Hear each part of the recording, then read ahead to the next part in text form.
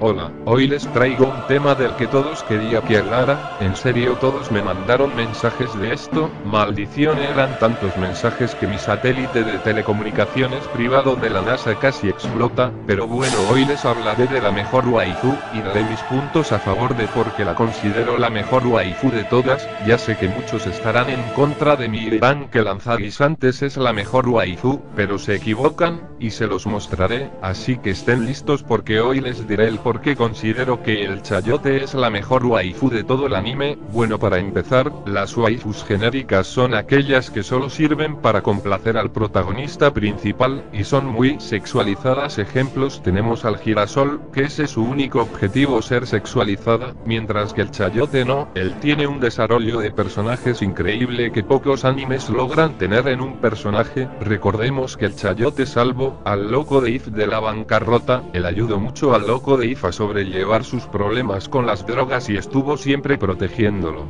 También es muy poderoso aquí una demostración de su poder,